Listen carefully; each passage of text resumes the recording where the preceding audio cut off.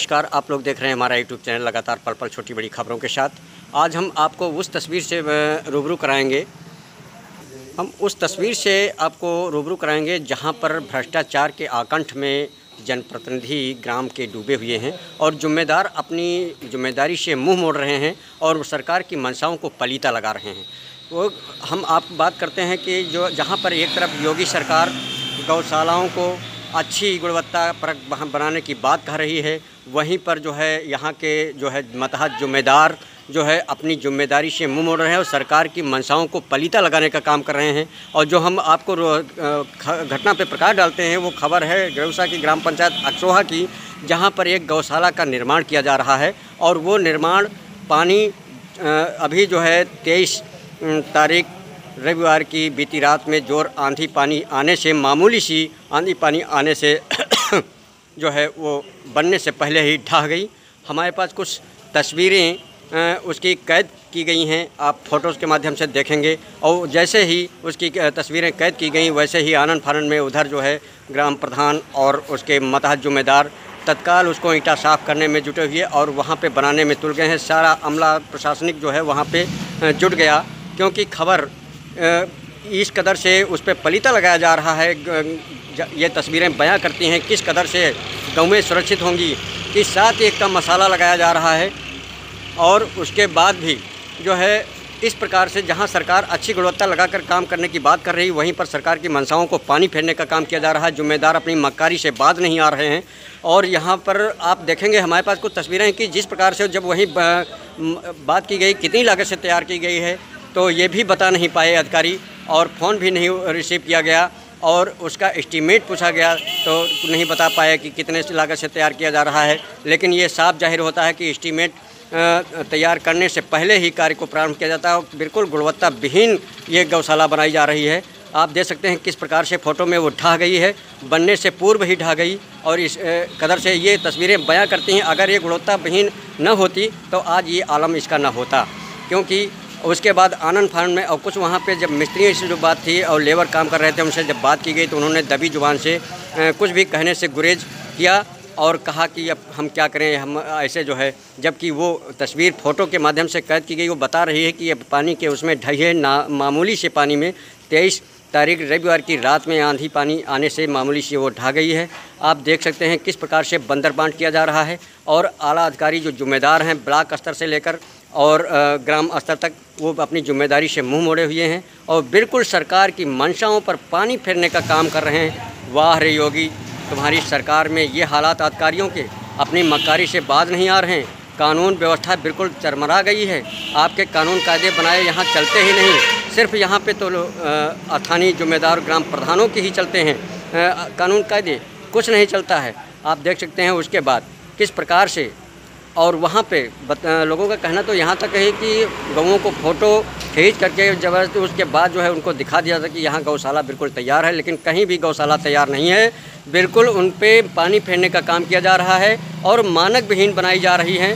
जब ये तो बानगी भर है, अगर कहीं मतहत जिम्मेदार सक्रियता से जाँच कर लें तो कलाई अपने आप खुल जाएगी। प्रधान किस प्रकार से बंदरबाट करने में जुटे हुए हैं और बिल्कुल गुणवत्ता विहीन सामग्री लगा रहे हैं, क्योंकि ये जगह जगह दरारें दे दी गई हैं।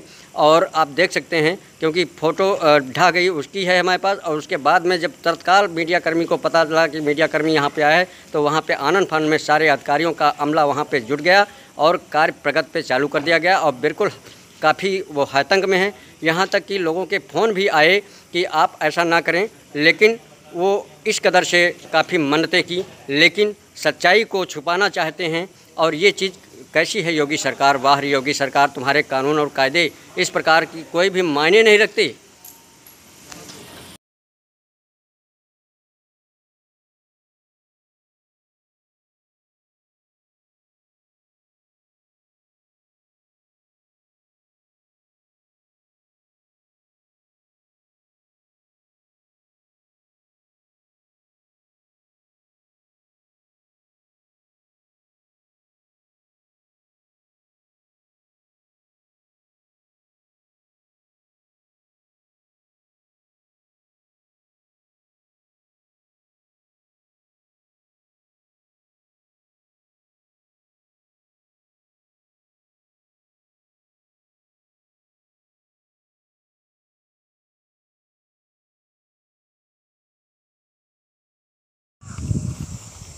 तूर रहे हो है कि अपने आप गिरी हाँ हाँ मैंने अपने आप से नहीं कहाँ ये तूरी थे?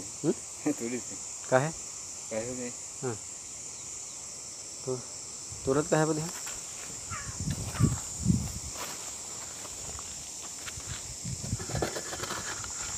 कोई कहा है तूरे का? कोई कहा है तूरे का? हाँ कहे हम हो बताओ कोई दिक्कत है का क्या तुम बताओ बताओ है तो बताइए नहीं आंधी में गिरी है कि अपने आप जो? भैया हम तो जैसे आज आए हैं तो। क्या हो अपने आप गिरी है कि आंधी मतलब तू तू तू ही है? पूर्व। नहीं क्या है अपने आप आंधी में तो नहीं गिरी?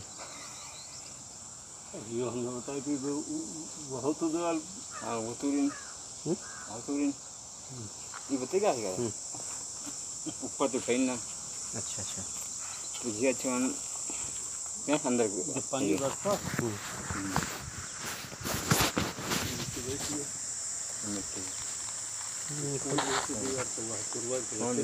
तो घुई है ये अंदर से नहीं। ये आखिर में हर हर लौट नहीं। अंदर से अब कह दी। अब कह दी तो ये अगर ना ऐसे तो नहीं। तो मैं भी जानवरों तो आए नहीं। बंद होने के ये नहीं आई ठीक है अरे सब गन्ना करे हाँ देखो ज़िंदगी सर कै बीघा है यार ये आठ है काठ हैं? कै बीघा हम बन रहा है छोला आठ आठ है ये सब प्रधान से ने इंक्वायरी करो। तुम यहाँ क्या करते हो हम पानी पिए आ रहे हैं अपने ख्याल हम दवा पड़ रही है हम कोई लेबर थोड़ा हम मालिक प्रधान है प्रधान से इंक्वायरी करो क्या कर रहे हो? कैसे टूटी? क्या हुआ? लेबर हूँ मैं। तो लेबर हूँ।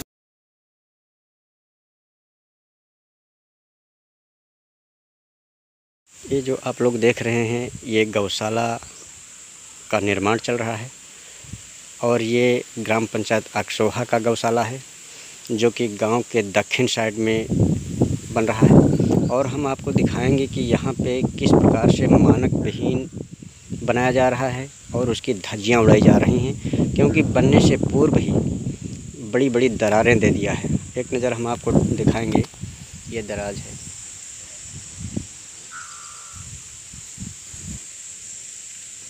ये दराज है।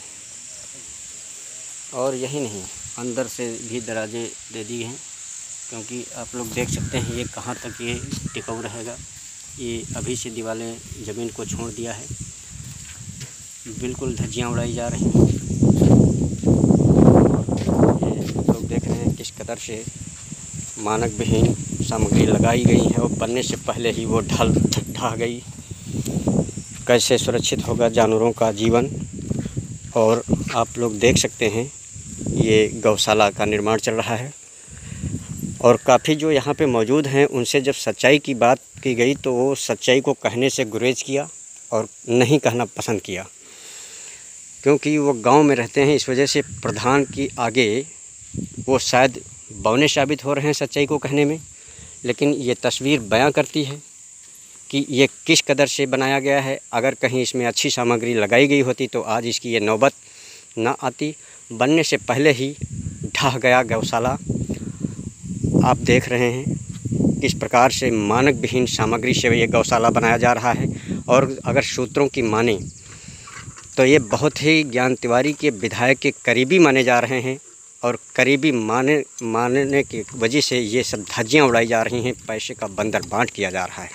और ये गौशाला की तस्वीर हम वहाँ की दिखाते हैं, ये जो ग्राम पंचायत अक्षोहा है, वहाँ की गौशाला है, क्योंकि चर्चाओं का बाज़ार गर्म है और काफ़ी ग्रामीणों का कहना है कि वो अपने आप ढह गई, थोड़ी सी बरसात में ही जो है ढह गई और अभी तो पूरी बरसात बाकी है।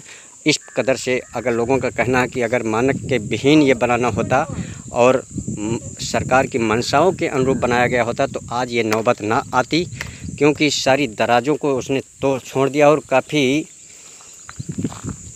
मानक विहीन तरीके से बनाया जा रहा है, क्योंकि उसको हथौड़े चल रहे हैं, तोड़ दिया, तोड़ा जा रहा है, क्योंकि वो बनने से पहले ही ढा गई और बड़ी बड़ी दरारें दी गई हैं। ये दरारें तस्वीर बयां करती है कि किस कदर से ये बनाई गई है।